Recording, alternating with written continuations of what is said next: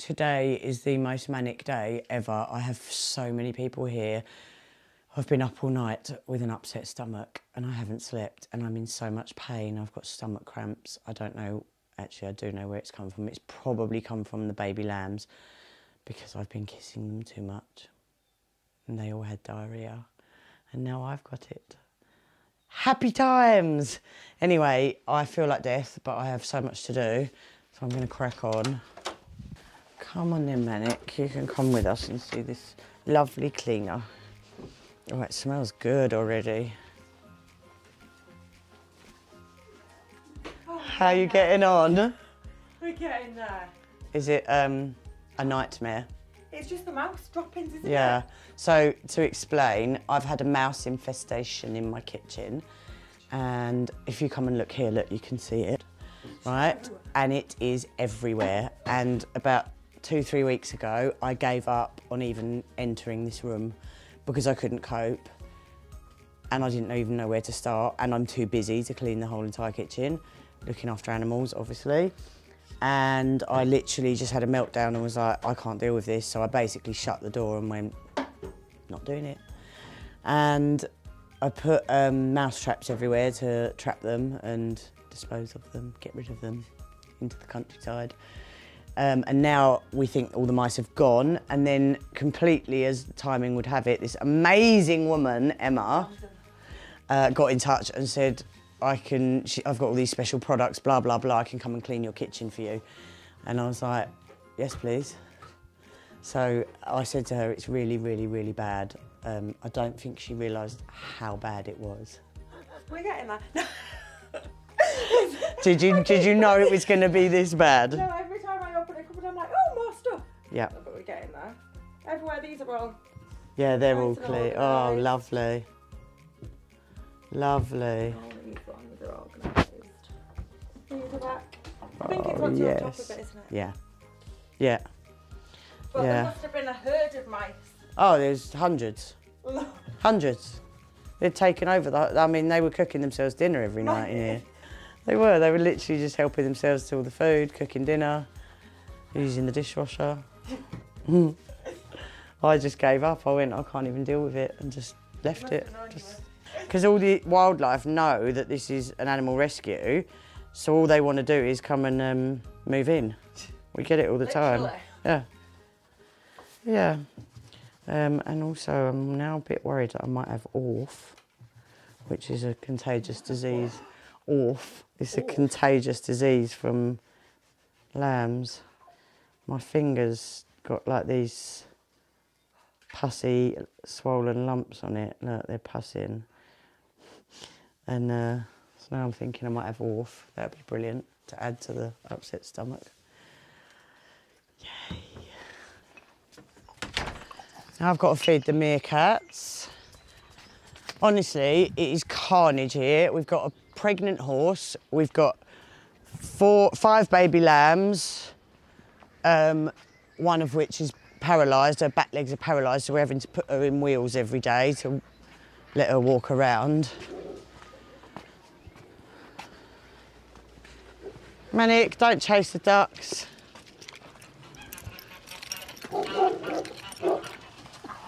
Manic likes all the ducks and the geese to be in the pond. They live in the pond, so they must stay in the pond.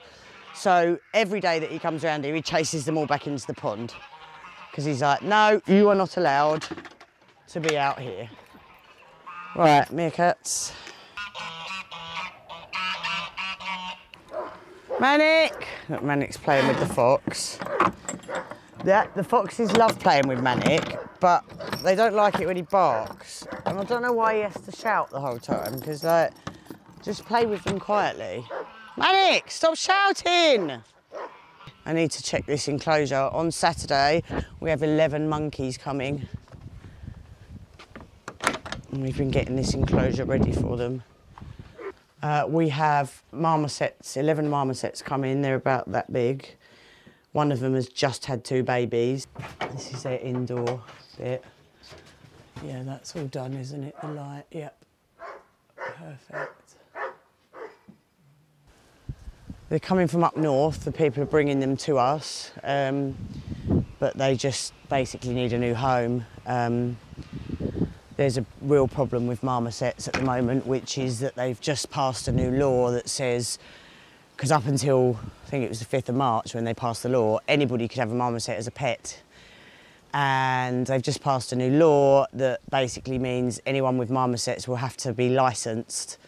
And they've given everybody a year to get their license. Well, what's going to happen is in a year's time, there's going to be 10,000 marmosets needing homes, and the rescues are all going to be full up and there's going to be nowhere for them to go.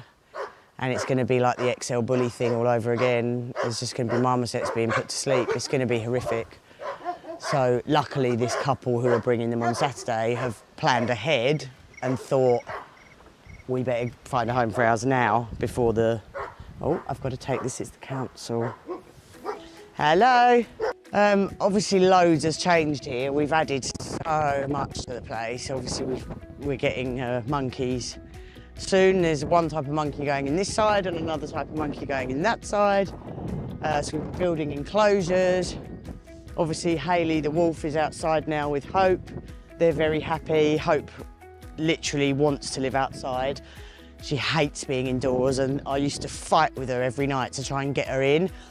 And I mean fight, like she does not want to be indoors. So she's the happiest she's ever been because she's now living out here with Haley. They do still get walked. Um, and exercised and all the rest of it, but they're so happy living outside. Obviously, we've got all our foxes. Um, we've got more foxes coming tomorrow. There's four in here. Um, these guys can't be released. Um, Flinty, the big boy, he was born and raised in captivity as a pet, so he wouldn't survive in the wild because he doesn't have any survival skills. He's just like, he's basically like a pet dog. Um, Adam up there, he uh, basically Adam and Alec, the two boys in here, oh, and the other girl actually, um, Amber, they're all disabled. So again, can't be released into the wild because they have special needs. So um, we've got our amazing fox enclosure and we've got more foxes coming tomorrow. So this is our tawny owl. Um, she fell, fell down somebody's chimney and the woman scooped her up and brought her here and I didn't get a good look at her for a while because what we do with wild birds is we don't overhandle them because you want to release them back into the wild.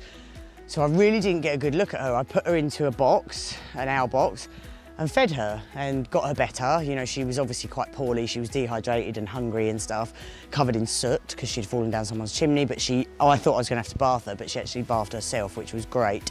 Got all the soot off her. Anyway, I didn't look at her for a few weeks properly because we don't like to overhandle them because you're releasing them back into the wild.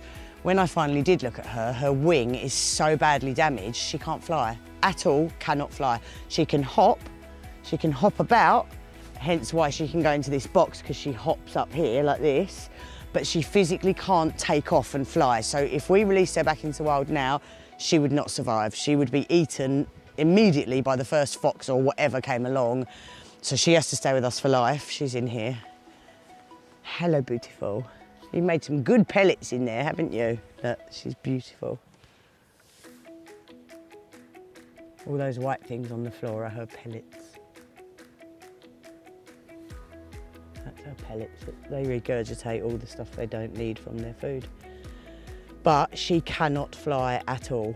So, um, yeah, she would be eaten in the wild. She wouldn't survive five minutes. Um, but she's quite happy in here. She loves her little box. She sleeps in her box all day, comes out of a night, eats her food, potters around on the floor, has a bath in her water. You know, she's quite happy. Um, so she's going to have to stay with us for life because she just wouldn't survive in the wild. The raccoon dogs look really scruffy at the moment because they've um, they're shedding their winter fur. So all this fur on the floor, this is off of these. They're shedding fur everywhere, but we leave it all because the birds take it and make nests out of it. It's lovely and warm, that fur, isn't it? Yeah. Yeah, it is. Reggie, you are such a handsome boy. Yeah, so these guys can't ever be released into the wild because they're um, invasive, they're not native to this country, they're from Japan. Um, they're bred for their fur normally and skinned alive, which is obviously horrific. Uh, but these guys came from a lady I know who um, had them as pets and basically had a few dramas happen and a few things go on and she didn't have the time to dedicate to them anymore and asked if I would take them because she knew I would give them lots and lots of love. Um, so we took them and they are very, very happy and we're obsessed with them. But you do have to have licenses to keep these guys because, because they're invasive. So um, you can't just have these as pets. Nobody should have these as pets, really. Um,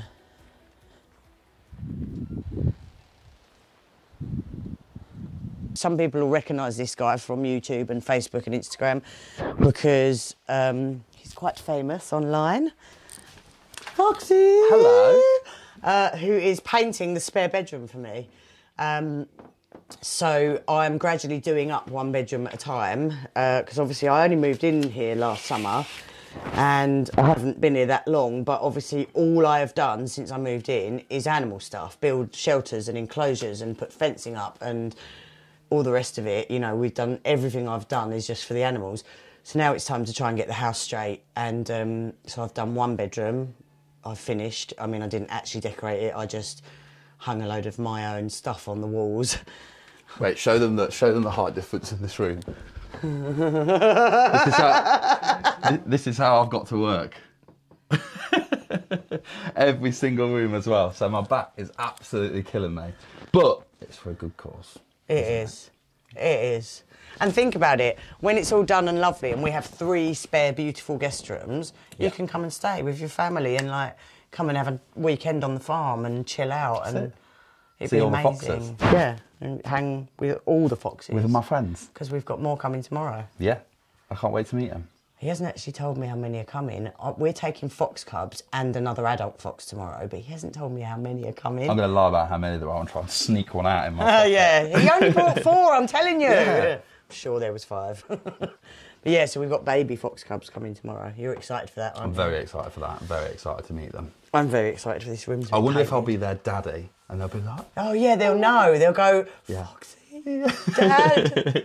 Can I just point out that look, this is what we're getting rid of in here because I hate these blue and yellow stencils with a passion. These were already here when I moved in, obviously. This is my wall that I've been testing paint colours on. And um, we're going for that one on the far end there, aren't we, Joe? that one.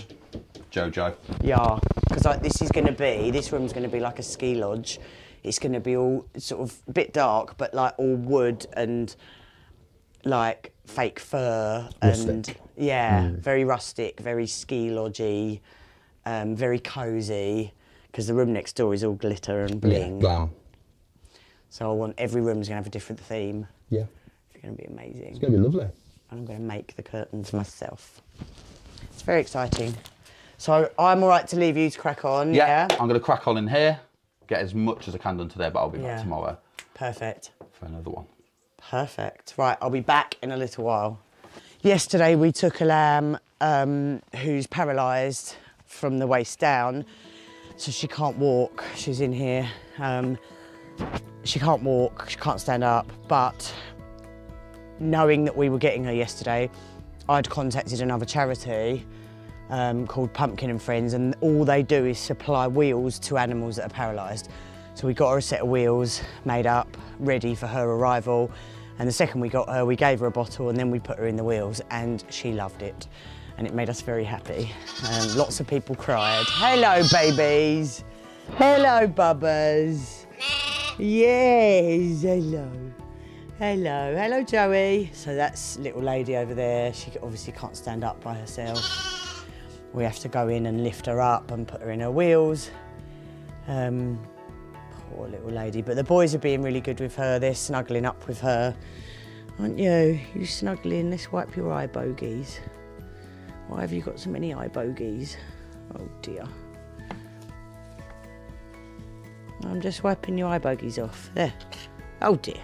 Oh dear. Can I get those ones?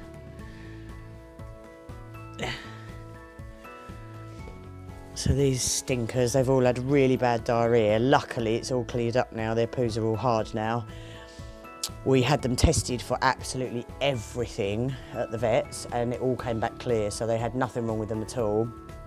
Just, it was probably due to really poor diet or lack of diet. And then they came here and well, they came to us with diarrhea, but I mean, it, it was probably just they weren't being fed and then the diarrhea continued because then as they were getting fed, it was, you know, they're suddenly having this lovely rich milk that they should have been having all along and then that prolonged the diarrhea. But we got them onto, I use a supplement for baby lambs and it's never failed me yet. I've used it every year whenever we have lambs come in that are orphaned. Um, they always end up with diarrhea, always. And I use this supplement called Gut Right, and it is amazing. And you just add a bit to their milk, and it makes their poos hard. It completely clears up the diarrhea. I actually need some myself today. I wonder if you can use it on humans. I do use lots of animal products on myself, as in like there's this cream that's like a healing cream for wounds. It's the best thing in the world, and I always use it on myself. Um, it's only meant for animals, but it does the job. Another thing that people don't realise about lambs is they lamb is actually lamb, as in it, lamb that you eat is baby lamb. So these guys would go to slaughter at 10 weeks old, some as young as 10 weeks old, some 12 weeks old. They go when they're actual babies. If you think about the size of a lamb chop, it's small, isn't it? It's not a big hunk of meat. It, a lamb chop is a small thing. Well, it's because it's off a baby lamb. Um, so every year we save as many as we can from slaughter. This year we've had five so far. No doubt there'll be more. Um, but we love our baby lambs and I love bottle feeding. Um, and you're safe. You're not going to end up on somebody's plate. See, when lambs first come in, they'll, they'll always have like a snotty nose, crusty eyes, diarrhea, and it's all just from poor living conditions. So once they have been with us for a week or two, they're all back to full health. Um, I love you. I love you. Yeah, once they've been with us for a week or two, they're back to full health and, you know, nothing wrong with them. But I've never yet had a baby lamb come in healthy, ever. Poor living conditions, not being fed the right food, not being fed enough food, living in dirty barns with their own poo and pee and stuff. It's just, they don't have a good time, lambs, do you? But you do when you come here.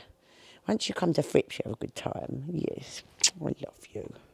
So we have a company called Sign Language Essex, and um, they make our merchandise, our Fripps merchandise. Now, um, we don't have anything to do with it. They're a separate company to us. They make the merchandise, they sell the merchandise for us. But what they do is they make a donation to us for every item sold. They make a donation to Fripps Farm. So just for the month of March alone, just for the month of March in Fripps merchandise, we got £800 in donations from people buying the Fripps Farm merchandise. And our merchandise, I mean, I, I design it all with her, we design it together. And I have to say, not blowing my own trumpet, here, but it is amazing, right? Because not only can you get jumpers like the Fripps Farm jumpers with the logos on and all of that, you can get all the logo stuff, but we also have really funny like t-shirts and hoodies, things with slogans on, like things that are just funny, especially I find them really funny, like one of my favourite ones, um, vegan, because my body isn't a graveyard. So good. And uh, things like, we've got t-shirts that say, I prefer animals to humans. Um, and uh, I've got a, hoodie, the hoodie's amazing, that says, I don't eat dead bodies and so they're like they're really sort of pro vegan and vegetarian or they're not all vegan and vegetarian but they're pro vegan and vegetarian but also we have ones for just animal lovers in general like we've got one that says the dog father um, you know and um, tell your cat i said because obviously we all do to a cat uh, so they're just funny slogan t-shirts and hoodies but they're amazing they're so cool and they're really good quality so oh oh quick quick they're putting foxy in her in her wheels. Little lady. You's going for a walk, little lady. It's time for your midday walk. Okay. Oh, good, good to go. Right, carry her just to the concrete. We need to clean her sides as well because where she's been laying and done a pee, she's got a bit, look, yeah. that needs cleaning quickly because we don't want the ammonia on her. Little lady. Come on, little lady, come for a little walk. Come on, come this way. There we go. There we go. Good girl. You good girl. You good girl. You so clever. You're so clever. Yes, you are. You're so clever. Keep walking. Yeah. Yeah, you good girl. Oi. You are such a good girl, aren't you? You're such a good girl.